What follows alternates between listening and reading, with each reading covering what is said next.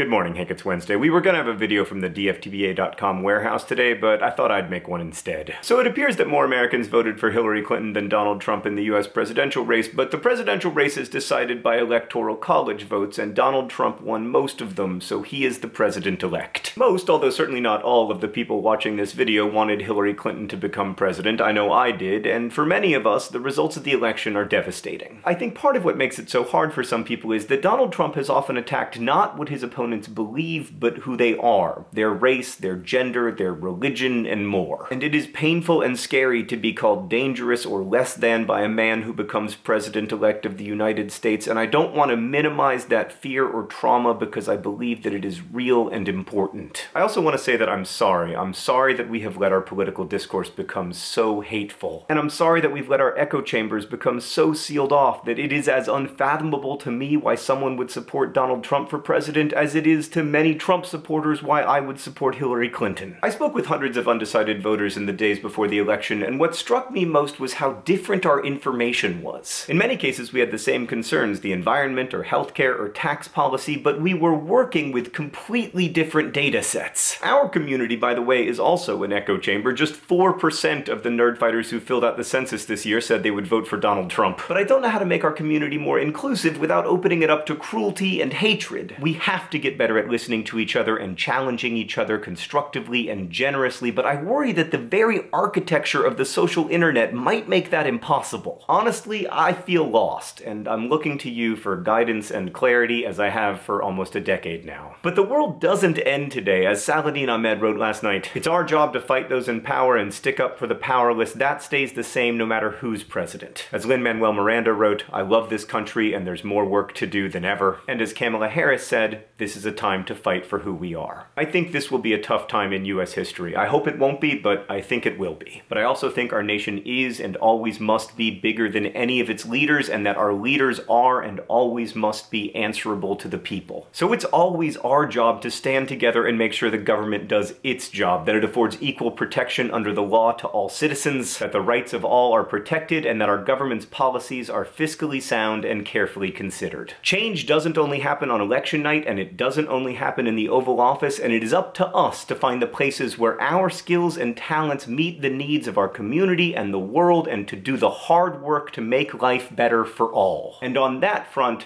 I am hopeful. So 10 days ago, my nephew Orin was born, and bringing that baby into the world was an act of hope on the part of his parents. I am glad for their hope, and I am heartened by it, and I do not believe it was misguided. That child was born into an America that is better than the one his grandparents were born into. And it was made better by people whose hope, from restaurant counters in Alabama to the beaches of Normandy, helped them to stand together and hold the line in circumstances vastly darker than anything I pray most of us will ever see. I don't think hope is idealistic or silly, I think it's the founding emotion of our species. And it's not naive to hope that we can bend the arc of American history toward justice because we've seen our ancestors do that in the face of unimaginable difficulty. As the great American poet of the human heart wrote, Hope is the thing with feathers that perches in the soul and sings the tune without the words and never stops at all.